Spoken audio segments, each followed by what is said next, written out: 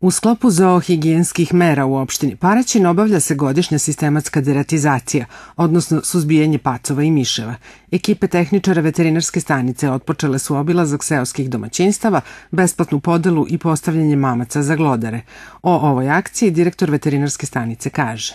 Razlog što se radi, zato što su pacovi vektori e, mnogih zaraza, kako kod životinja, tako kod ljudi na prvom mestu. Drugi, ekonomske štete nanose ekonomske štete, uništavaju useve ljudima, uništavaju to kod e, to, to je drugi i treći onaj uh, higijenski, estetski razlog.